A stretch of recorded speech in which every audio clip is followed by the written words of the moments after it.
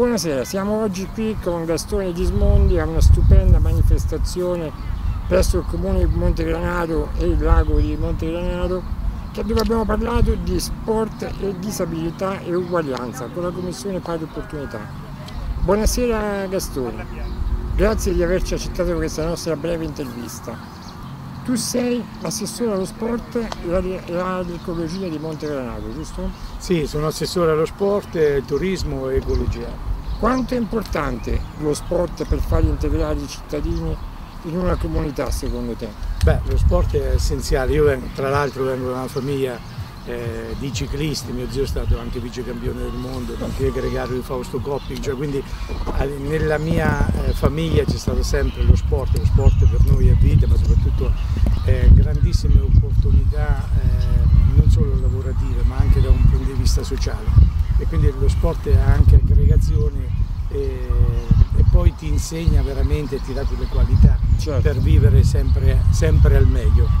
Assolutamente, ti danno quei, quegli stimoli e quei valori della vita che, sono, che sono, importanti per, per affrontare Vero, il condivido, condivido. Poi ricordiamo che Montegranaro è piena di grandi atleti, come abbiamo appena visto nella manifestazione, e di grandi, e di grandi squadre come, come sostiene il Comune queste squadre, queste attività?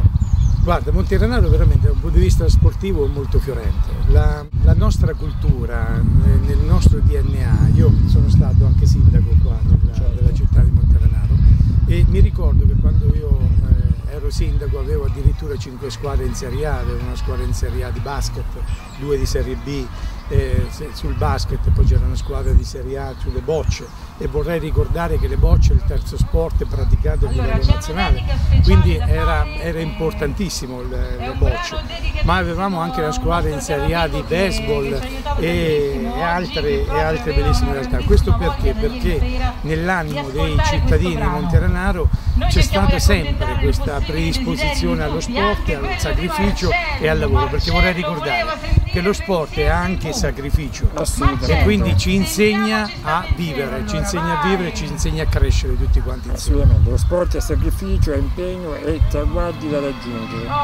Guarda, uscendo un attimo dalla manifestazione di oggi, visto che tu sei anche un'ultima domanda fuori il mondo sportivo, ma nel mondo dell'ecologia, essendo tu anche assessore all'ecologia, cosa cosa bisogna fare per, secondo te e cosa sta facendo il Comune di Montegranaro per migliorare questo nostro territorio? Guarda, noi stiamo cercando di mettere in campo, è da pochi mesi che abbiamo vinto, eh, stiamo cercando di mettere in campo, grazie al PNNR, grazie anche all'aiuto dell'Alessandra Levantesi, che è la nostra responsabile, di intercettare diverse risorse economiche che passano attraverso i tre ambiti, quelli che io gestisco, che è quello dello sport, del, dell'ambiente e soprattutto del turismo. Qui stiamo in un luogo meraviglioso, questo è un laghetto che sta a Monterana, si chiama il lago del Torrione, che non è un lago naturale, però è un lago che deriva dall'azienda dalla, dalla, di estrazione, una cava. Però come sempre la natura si riprende tutto certo. e anche qui abbiamo un esempio di come la natura sta riprendendo tutto. Dietro c'è il fiume Chienti, stiamo portando avanti insieme alla regione e insieme a, a, altri comuni con i quali ci siamo consorziati una pista ciclabile che parte da Civitanova, arriva fino a Corridonia nel lato est della, del fiume Chienti e gira poi a Corridonia e fa il lago Maceratese e quindi sarà, una, sarà, un momento molto importante. E qui nel lago Torrione noi avremo la, la, la base di questa pista ciclabile quindi è il turismo, è lo sport ma anche l'ambiente, vedi io ho curato nei minimi dettagli la pulizia pure di questi luoghi perché secondo me turismo, ambiente, pulizia, sport è il, è il futuro, è quello che eh, che per me è essenziale e mi dà la gioia poi di farlo. Assolutamente, Guarda, ti ringrazio, abbiamo fatto un po' quattro chiacchiere anche uscendo fuori dalla manifestazione odierna, ma era giusto farlo. Ti ringrazio, ti faccio veramente i complimenti per questa bellissima manifestazione di integrazione tra sport e disabilità e pari opportunità in genere. E niente, ci, do, ci diamo appuntamento ad una chiacchierata futura. Sicuramente, scusami se vado alle conclusioni, Prego. Ringrazio la Regione, ringrazio la, la nostra Presidente Annalina Vittorini che ha dato l'opportunità, quindi che ci ha dato anche l'opportunità, soprattutto che ci ha dato anche la parte economica per, certo. per realizzare il tutto e quindi al, al, nostro Presidente, caro Presidente regionale, un ringraziamento per la scelta di una persona veramente capace per il nostro territorio. Speriamo veramente di continuare questo sodalizio no? tra eh, lo sport io lo vedo a 360 gradi e io la disabilità non la vedo. Per me lo sport è l'unico ambito che riesce a unire tutti quanti certo. e quindi quest'oggi abbiamo dimostrato questo. Certo. Ci sono grandi campioni in tutti gli ambiti al di là delle problematiche fisiche o meno che uno possa avere. Beh, io ti, ti faccio un'ultima sfida, dai, voglio lanciare una sfida. Perché non proviamo a portare una qualche gara importante paraolimpica a Monte Granata? ma magari io sono, sono a disposizione, eh, faremo questo progetto e prossimamente andremo a realizzarlo lo insieme, lo pre- lo insieme perché da, da, solo non posso fare assolutamente nulla. Lo prendiamo come un impegno formale allora. Ok, grazie. Va benissimo, grazie ancora. Siamo qui con Marialina Vitturini, Presidente della Commissione regionale Pari Opportunità in questa bellissima manifestazione di sport e di integrazione qui a Montegranaro. Marilina, come di tua consuetudine realizzi sempre, riesci sempre a realizzare manifestazioni che colpiscono nel segno. Cioè, oggi abbiamo parlato e abbiamo conosciuto atleti sportivi con disabilità ma che sono arrivati a livelli altissimi nei loro settori. Quindi questo è un processo che tu stai portando avanti di integrazione con la tua commissione. Cosa ci puoi dire a proposito? Tuoi, tuo, come, come continua questo percorso? Allora, innanzitutto grazie per eh, questa opportunità sempre di essere presenti e poter parlare di queste tematiche. Qui a Montegranaro è stata una manifestazione molto bella all'insegna dello sport e l'inclusività come hai detto tu, tanti giovani presenti che hanno raccontato le loro storie, quindi sportivi olimpici e paralimpici. Presente anche Michele Massa che è un campione, sappiamo sì. che proprio avrà una gara importante la settimana prossima e potremmo avere veramente il numero uno oh, d'Italia eh, qui del nostro territorio. E lo, noi... lo avremo anche presto sui nostri canali sì, per noi quindi è un orgoglio poterlo avere qui e è anche un testimonial proprio della nostra diciamo, commissione, racconta la sua storia e dimostra proprio che anche se eh, c'è una diversità proprio per, per la sua diciamo, situazione di disabilità, nonostante tutto è arrivato ai massimi livelli con l'impegno. Quindi è proprio questo il nostro ruolo, quello di far sì che tutti abbiano proprio le stesse opportunità e quindi continueremo sempre su tutto il territorio a, a lottare proprio affinché le discriminazioni vengano abolite, affinché le barriere, perché il titolo proprio di oggi era eh, per, per il superamento delle barriere. Poi parliamo sempre, sapete, di pari opportunità tra uomo e donna, proprio perché eh, c'erano anche delle giovani sportive che hanno raccontato proprio i, loro, i tanti sacrifici che devono fare, la conciliazione proprio che c'è. E, e, sappiamo tutti che eh, nello sport essere donna è un po' più difficoltoso, certo. proprio perché purtroppo ancora ancora non c'è una, una, disparità di trattamento. Proprio per questo Michele infatti noi martedì prossimo, cioè il 7, parteciperemo ad una gara ciclistica internazionale che è l'Adriatica Ionico. -huh. Race e, e, con un gruppetto di 30 donne sì. praticamente partiremo prima dell'arrivo diciamo, della gara ciclistica maschile proprio a dimostrazione che anche le donne sono capaci diciamo, di pedalare quindi di sostenere uno sforzo fisico e quindi dovrebbero avere la stessa parità di trattamento perché molte volte purtroppo non sono neanche ammessi a delle gare nazionali, a dei circuiti, cioè sembra quasi che siano una razza diversa e questo infatti, non è giusto. Infatti questa è un'assurdità perché anche come dicevi tu, la disparità degli stipendi, cioè ci sono tanti sportivi, tante sportive donne che non possono praticare la loro attività perché, perché magari quello che gli danno le squadre non gli permette di sopravvivere. Vediamo il caso anche di pochi mesi fa dove il calcio femminile sì. è diventato professionistico. Sì. Dal 7 luglio sarà professionistico. Sì. Cioè, noi, abbia noi, abbiamo una squadra femminile più forte della maschile che non viene pagata praticamente, sì. questo è l'assurdità. È assurdo, poi anche appunto eh, anche i media hanno un grande ruolo certo. proprio perché molto spesso non considerano, cioè danno poco spazio proprio alla presenza degli sport femminili, quindi poi è un circolo vizioso naturalmente anche gli sponsor Quindi cerchiamo in ogni modo ecco, di, di, promozionare certo. questo sport al femminile affinché sia, sia, abbiano insomma, la giusta anche il, il giusto vabbè, riconoscimento. Il giusto riconoscimento sia economico che vabbè, per lo sport è anche un po' relativo, ma anche e soprattutto di merito e di spazio e di visibilità. Assolutamente sì. Cara Marilina, ti ringrazio per questo breve intervento, ti faccio gli auguri per continuare a portare avanti questo tuo progetto di integrazione veramente efficace ed efficiente e niente, ci diamo appuntamento ad una prossima chiacchierata. A presto e grazie ancora a voi sempre per la vostra presenza. Noi facciamo quello che possiamo. Eccoci a Monte Granaro con l'onorevole Mauro Ugentini alla manifestazione del comune di Monte Granaro con la Commissione Pari Opportunità dove abbiamo parlato di eh, sport e disabilità. Caro Mauro, il, eh, tu sei il rappresentante Lega, la Lega è un partito molto esposto a favore della disabilità, tanto che il ministro Stefani è un vostro esponente. Come mai questa diciamo, indole verso, verso la disabilità? È una domanda un po' particolare, lo so. No, vabbè, è un partito che rappresenta il territorio, che è molto imperniato sul territorio e quindi sta proprio in mezzo alla gente. Non può essere che un partito che sta vicino a, a, ai bisogni de, delle persone che hanno più difficoltà sotto certi aspetti.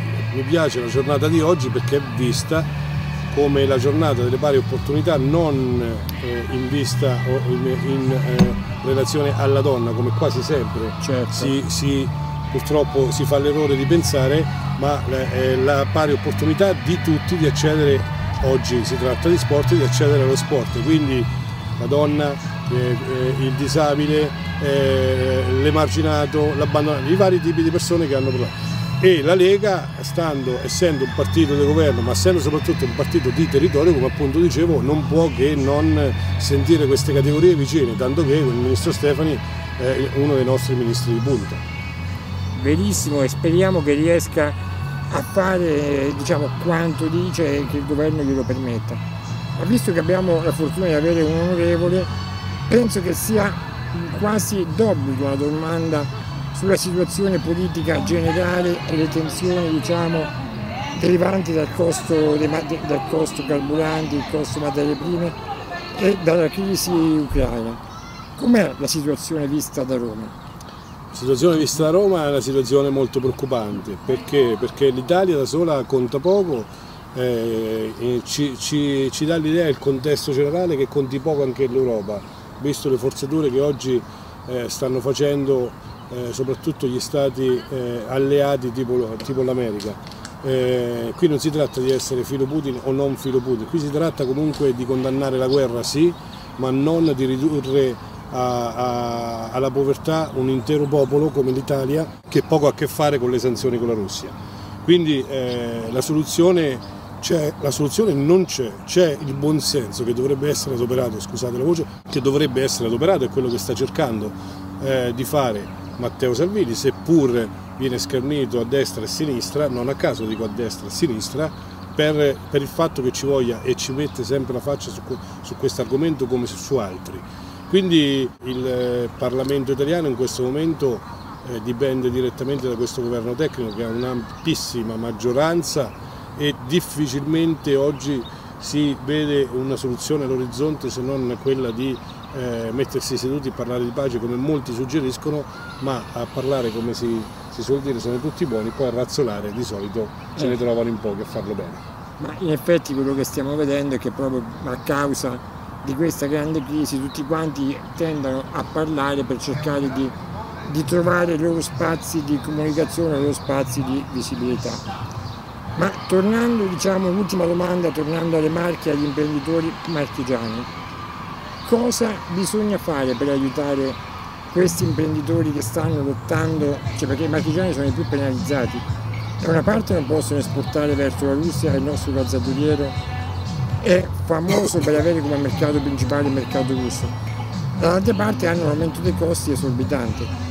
Cosa può fare la politica per aiutarli a sostenerli? Allora, intanto puntualizziamo il fatto che ci troviamo nel cuore del distretto calzaturiero qui a Montegranaro. Assolutamente. Il distretto calzaturiero è quello che occupa oggi 5 miliardi di euro eh, come fatturato generale a livello marchigiano è il primo distretto, è il più penalizzato perché come dicevi te è quello che è collegato direttamente alla Russia e eh, proprio su questo non più tardi di tre settimane fa ci siamo incontrati con il ministro Giorgetti insieme ai rappresentanti del distretto proprio per trovare le soluzioni. Qui le soluzioni sono due, una a breve termine e una a medio termine. Quella a breve termine è quella di concedere quegli aiuti che sono stati utilizzati nel tempo della pandemia eh, e quindi riuscire a far cassa eh, con credito d'imposta o con altro per, questi, per queste aziende. Quello a lungo termine è quello di ormai avviarci verso una decontribuzione. Noi ci troviamo anche nell'area di crisi complessa, certo. calzaturiera Fermano Maceratese, è partita proprio da Montegranaro questa cosa qua. E oggi lo Stato non può solamente dire sì, siete nell'area di crisi complessa se poi questa zona non la riempiamo di contenuti. Quindi stanno, sono state proposte a Giorgetti delle misure, faccio un esempio, una su tutte, la decontribuzione del 30% mhm. del costo del lavoro, cosa che invece nel decreto sud è previsto dall'Abruzzo in giù sì. e quindi sapete qual è il risultato? Il risultato è che alcune aziende stanno spostando la propria sede fiscale dalle Marche all'Abruzzo. Allora questo è un'aberrazione perché è, un, è un danno, è un danno grosso. Se a questo, come dicevi te, ci aggiungiamo uh mhm. -huh. il costo dell'aumento eh, del costo del carburante, dell'energia, eh, allora eh, qualcuno l'ha definita la tempesta perfetta. Ecco, noi ci stiamo, ci stiamo muovendo su, questo, su questa situazione. Sì, perché ricordiamo che il costo dell'energia crea pure danno non soltanto a quelli che esportano verso la Russia ma anche ai pescatori. Io, che ormai sono in protesta. Io, adesso che tu l'hai detto, io allora, l'altra settimana abbiamo fatto riunione con il sottosegretario Cava all'ambiente, sì. ma il tema era la plastica in mare, ma anche il discorso del costo del carburante e c'erano ben 150 pescatori, tra vongolare, pesca strascico, piccola pesca e io domani sera sarò in mare, partirò alle 3 di notte con le vongolari di Porta San Giorgio proprio per non solo testimoniare la nostra vicinanza ai, ai, nostri pescatori ma anche per renderci conto e per rendermi conto direttamente della problematica. Fa il pescatore? Ci provo. Bene, con questa battuta ringraziamo l'onorevole Gentini, l'amico Mauro e niente, vi invitiamo a continuare a seguirci sui nostri canali. Alla prossima. Grazie, arrivederci. Sono Ludovica Nivella, io ho 17 anni e vengo da Montegranaro. Pratico danza caraibica da quando avevo 4 anni e continuo ancora oggi questo sport. E frequento invece il liceo linguistico e ho appena finito il quarto anno, quindi sicuramente è molto complicato riuscire a conciliare questi due grandissimi impegni che ho e mm, credo che solamente con una grandissima passione che si ha soprattutto verso lo sport si riesca poi a portare avanti entrambe le cose con ottimi risultati e ho raggiunto il, il titolo di vice campionessa italiana nella massima categoria quindi sono molto fiera appunto di, di poter avere ottimi risultati nel mio sport. Ciao a tutti, sono Claudia Brillarelli, ho 19 anni. Io ho iniziato con eh, ginnastica ritmica con Daniela Nardi che mi ha fatto capire che non era lo sport giusto per me e poi ho iniziato a fare atletica. Sono due volte campionessa regionale nei 200. A luglio andrò a fare i campionati italiani, appunto i 200 e anche della staffetta e sto cercando di fare il minimo anche sui 100. Sono Michele Massa, ho 18 anni e pratico scherma praticamente dalla prima media. Ho conosciuto questo sport con eh, una dimostrazione a scuola e da lì praticamente me ne sono innamorato. Ho cominciato a fare gare a 14 anni e con il tempo sono andato sempre più avanti. Ora faccio parte della nazionale paralimpica da, da non molto in realtà, semplicemente prima andavo in, eh, ad allenarmi con loro e ho fatto ultimamente la gara più importante che ho fatto è stata la Coppa del Mondo in Brasile dove mi sono classificato terzo nel fioretto e quinto nella spada. A Macerata ci saranno gli assoluti italiani. La prossima Coppa del Mondo sarà a Varsavia, in Polonia. Lei è la nostra responsabile delle pari opportunità.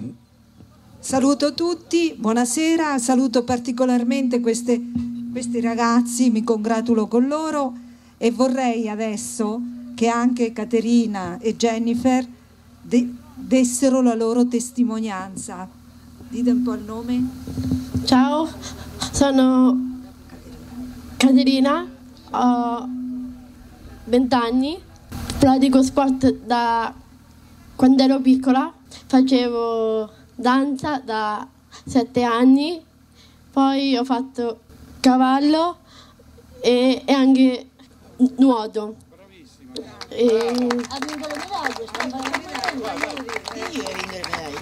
Sono campionessa italiana del nuoto, ho fatto sia regionali e sia nazionali. Jennifer ha fatto 11 anni, i Giuliani aveva fatto la gara, gara nuoto, aveva fatto tre medaglie, ieri ha fatto, ha fatto coppa. Brava, brava, brava, Queste testimonianze sono veramente toccanti e importanti perché in, eh, tutti hanno possibilità di esprimersi, di raggiungere dei traguardi senza nessuna emarginazione. La cosa che mi è venuta in mente stamattina è stata questa. Io eh, a 15 anni, una giornata d'agosto di, eh, avevo di quasi 40 anni fa, di 40 anni fa, eh, sono andata, sono partita per questa esperienza, per me era una cosa, non sapevo neanche a cosa andassi incontro perché eh, io praticavo sport, giocavo a pallacanestro, ma era tutta una cosa così a livello diciamo dilettantistico, anche perché a Montegranaro la femminile era sempre stata poco considerata. Bene, l'anno dopo, ad agosto, io ero a cena insieme alla mia squadra a New York sulle Torri Gemelle come ospite eh, speciale. Tutto questo per dire che eh, lo sport per me ha rappresentato innanzitutto eh, la libertà, che è una cosa che è un principio che io ho fisso in testa sin da quando sono nata. Infatti mamma mi dice, cioè hai sei mesi, facevi quello che ti pare, ce n'hai 50 anni, cioè fai quello che ti pare. E eh, lo, è stata una finestra sul mondo, nel senso che eh, non importa se in una squadra, specialmente in uno sport di squadra o in qualsiasi tipo di sport, non importa se sei prota protagonista, L'importante è che tu viva quel momento per quello che ti dà e poi tu riesca a rendere l'esperienza che hai avuto agli altri. Gioco a pallavolo da, da quando avevo 6 anni, adesso ne ho 21 e ho sempre giocato, ho iniziato a Montegranaro alla, da Agostino, dalla Primavera Volley e mm, ho, nel 2017 ho avuto la prima chiamata fuori casa a Filottrano e mm, la scelta di andare fuori casa non è stata, cioè, non è stata semplice, però mh, la passione che ho per questo sport è veramente tanto come penso anche loro che ne praticano altri. E mh, poi avendo anche zia a casa ho chiesto sempre consiglio da lei. Eh, sì. e, e alla fine mi ha portato a giocare quest'anno a Ravenna in, eh, il primo campionato che ho fatto in A2 e rimarrò in A2 anche il prossimo anno, però ecco la società non posso dirla e sono felice perché comunque piano piano ho raggiunto il sogno di giocare nel campo rosa come si dice da noi. Pratico pallavolo da circa 9 anni. L'unica cosa che accomuna tutti noi sportivi ecco, è che non abbiamo appunto molte eh, opportunità di divertirci perché siamo occupati dagli allenamenti, dalle partite ad esempio quando dobbiamo uscire eh, i nostri amici magari non capiscono che non possiamo saltare l'allenamento, però lo sport regala moltissime emozioni e spero di poter continuare e di avere molte altre opportunità da prendere in balzo.